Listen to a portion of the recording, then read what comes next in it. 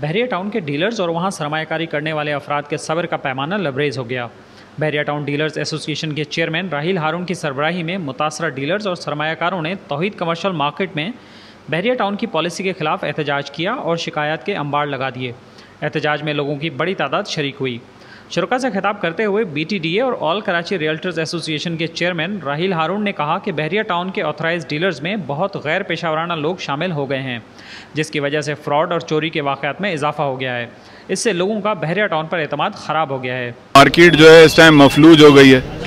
اور مارکیٹ کا یہ جو آج آ کے کریک ہو گئی ہے اس جگہ پہ، اب تو اس کا، اس کی وجہ یہ ہے کہ فراڈ جس طریقے سے ہوتے جا رہے تھے، جس طریقے سے پرابلمز آتی جا رہی تھیں، کبھی پریسنٹس کے حوالے سے تھیں، کبھی جو ہے یہ کمرشل پلاٹس پہ بکنگ کر دی جاتی تھیں۔ تو یہاں پہ لوگوں کا ٹرسٹ جو ہے نا، وہ اب شیک ہو چکا ہے اور بحریہ ٹاؤن ایک بہت اچھا پروجیکٹ ہے۔ ڈیولپمنٹ بحریہ ٹاؤن کی بہت زیادہ اچھی ہے۔ مگر انفارچونیٹلی جو یہاں پہ ڈیل کرنے والے ڈیلرز ہیں، ان کا نظام اس طرح آپ کو لگے گا، بالکل جس میں کوئی ان پروفیشنل لوگ ہوتے ہیں بیٹھے ہوئے۔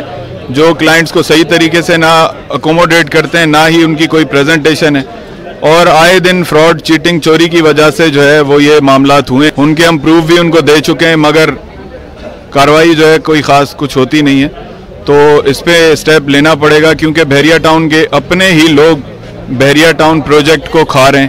آل کراچی ریئلٹرز ایسوسی ایشن کے چیئر پرسن اور مدارہ کے صدر کاشف شاہ آل کراچی کے صدر ایم رحمان اور دیگر مقررین نے اپنے خطاب میں کہا کہ بحریہ ٹاؤن ایک بہت اچھا منصوبہ ہے، جس نے بے مثال ڈیولپمنٹ کی ہے۔ لیکن بحریہ ٹاؤن کے مالکان اور کرتا دھرتا مفاد پرستوں کے درمیان گھرے ہوئے ہیں، جنہیں اپنی ساکھ بچانے کے لیے ایسے عناصر سے جان چھڑانی ہوگی۔ ہمارا مطالبہ یہ ہے کہ ان اتھورائز ڈیلرز کو قابو کیا جائے اور ہم ملک ریاض صاحب اور جو بھی آفیشلز ہیں ان سے ریکویسٹ کرتے ہیں کہ اپنے طور پر ان معاملات کو دیکھیں، ان معاملات کو فوری حل کریں اور کراچی کی جنرل پبلک کو تباہ و برباد ہونے سے بچایا جائے اور یہاں کے ڈیلرز اور انویسٹر جن کا پیسہ لگا ہے، ان کو تباہ و برباد ہونے سے بچایا جائے۔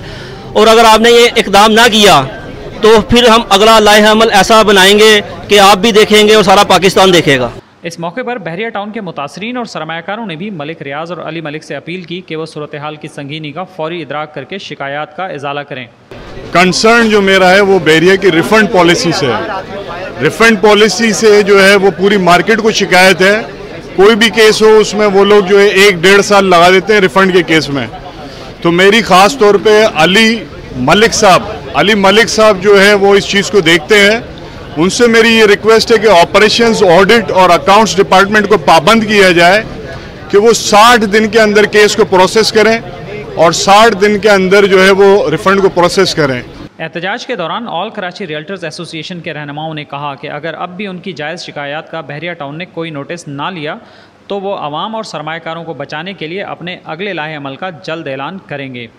ایسوسیٹ رپورٹر ہنا قول کے ساتھ اختر شاہین رند کنزیومر نیوز کراچی